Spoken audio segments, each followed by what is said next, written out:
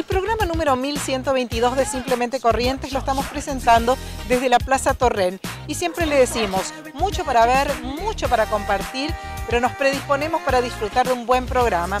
En la primera nota conversamos con Teresa Llano, su especialidad el mosaicismo. Acaba de regresar de una exposición en la ciudad de Córdoba. Nos cuenta cómo le fue.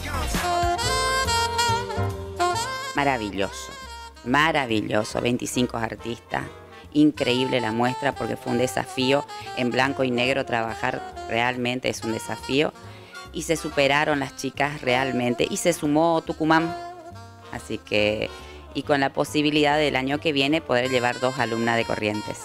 ¿Cómo surgió esta, esta idea, esta invitación?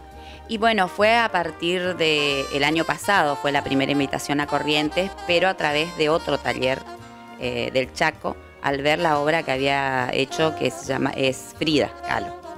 Cuando vieron en Córdoba que ellos vienen hace ya 10 años haciendo esta muestra con los mosaicistas, eh, me invitaron. Así que con el desafío nuevamente de poder participar este año en esta muestra itinerante de que como el año pasado lo traje a Corriente, nuevamente va a llegar aquí. ¿Qué presentaste? El, un Cristo. Eh, entrega se llama la obra. ¿Cuánto tiempo te demandó prepararlo? Mira, este Cristo lo venía elaborando hace un año, o sea, eh, que lo quería hacer. Y cuando sale la, muestra en blanco y negro, dije, bueno, este es el momento.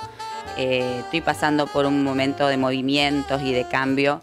Y justo la presentación iba a ser en el comienzo de Semana Santa, entonces no, me, pareció la mejor, el mejor momento de poder presentarlo al Cristo.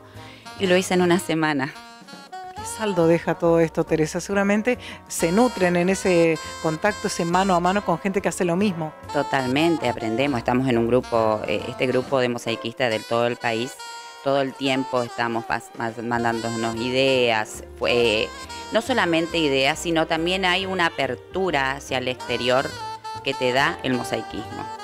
Eh, se están haciendo en este momento viajes eh, del exterior de Italia que están mandando a, a artistas argentinos para poder presentar sus obras, cosa que eso no sucedía. En Europa el mosaicismo es muy fuerte y eso es de antaño, ¿no? Acá en Argentina recién empieza el movimiento. Quien quiere aprender estas técnicas, ¿cómo te ubica?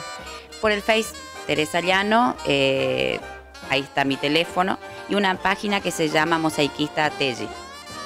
¿Algo más que quieras agregar a manera de cierre de esta nota? bueno, eh, yo próximamente voy a estar diciendo la fecha de la exposición. Quisiera que los correntinos conocieran lo que es el arte, el mosaicismo. Acá se puede fusionar un poco con la pintura, cosa que también es eh, una de mis amores, mis grandes amores.